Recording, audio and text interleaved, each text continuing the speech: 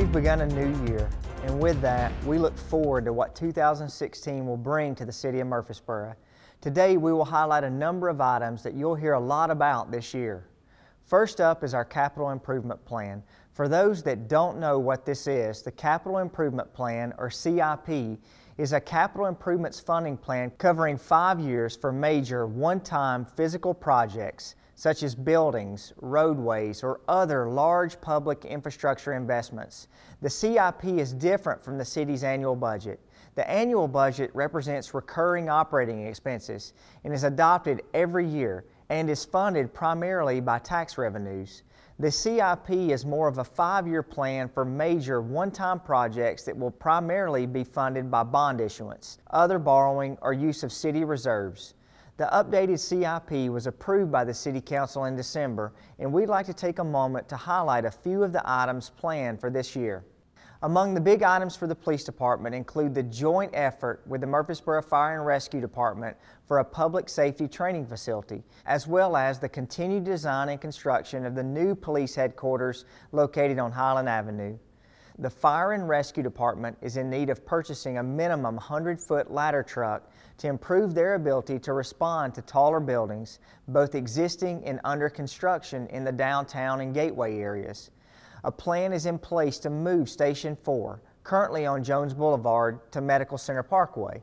Both the new equipment and relocation of Station 4 are in response to our city's growth and new developments, which include the new judicial building and the fountains at Gateway. Projects for the Parks and Recreation Department include the ongoing Bradley Academy improvements, a new central maintenance facility, the city's partnership to build Miracle Field at McKnight Park, developing a park on the west side of the city, and improving neighborhood school parks. Rover, the city's transit system, looks to build new offices and a hub on West Main Street that will be a multi-funded project including federal monies. City schools will be adding more classrooms to Hobgood and Black Fox Elementary, and a new elementary school is in the works tentatively on the west side of Murfreesboro, while monitoring growth on the north side as well. City TV has begun a process to go to high definition. While the HD upgrade on equipment is covered through a grant from Comcast, the rooms must be remodeled to accommodate the new setup. In addition, the City Council chambers, which is adjacent to the City TV office, will also go through a modification including new seating and carpeting and painting the walls. Other projects include renovations to the Senior Citizen Center, replacing older solid waste vehicles and equipment, and various road improvements for Butler Drive, Bradyville Road, and Jones Boulevard. If you would like to see more of the capital improvement plan, it's available on the city's website at www.murfreesborotn.gov. As you remember, last summer the city was approached by Middle Tennessee Electric to enter into talks to consider a potential sale and consolidation of Murfreesboro Electric Department with its cooperative. The city is still in the first phase of evaluating the potential deal points, and most recently, the city's five-member evaluation committee received three proposals in response to a request for qualifications from firms experienced in valuation services. The committee has interviewed and heard presentations from the top firms. At the December council meeting, City Council approved GAI Consultants Incorporated to begin a study of the value of Murfreesboro Electric Department GAI is a national engineering and consulting firm with more than 55 years of experience working with clients in the power generation and transmission industry. The valuation analysis is expected to take six weeks. The Murfreesboro Water and Sewer Department has begun the process of upgrading all the water meters throughout the city. The program is called AMI, or Advanced Meter Infrastructure. The new meters will allow for more accurate readings and may detect small leaks a lot quicker than the current process. This is an 18-month long project and all of the information on AMI is available on our website www.murfreesborotn.gov slash MWSD. We're very proud of the Fire and Rescue Department for their continuing efforts to protect our citizens. Murfreesboro Fire and Rescue Department recently participated in the 100 for 100 challenge held by the State Fire Marshal's Office. This mission was to install 100 smoke alarms in 100 homes.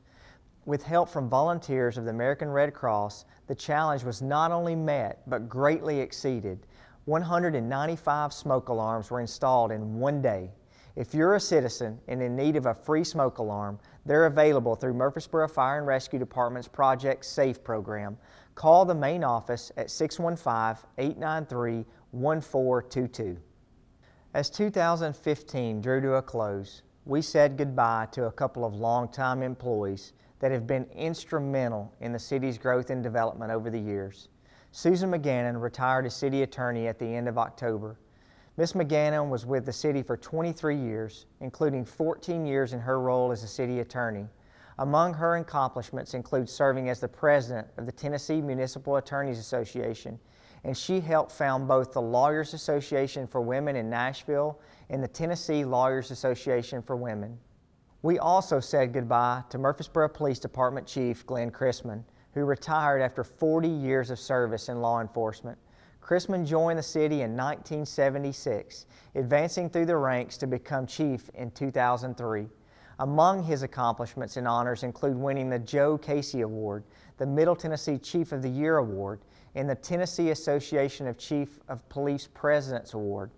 Thank you to both for their long-standing service and dedication to make Murfreesboro the best it can be. It is an exciting time to be in Murfreesboro in case you've missed any of the previous State of the City addresses, visit our YouTube channel by searching City of Murfreesboro. For the latest news on what's happening with the city, we're also on social media with Facebook and Twitter. Thanks again for watching, and we'll see you next time.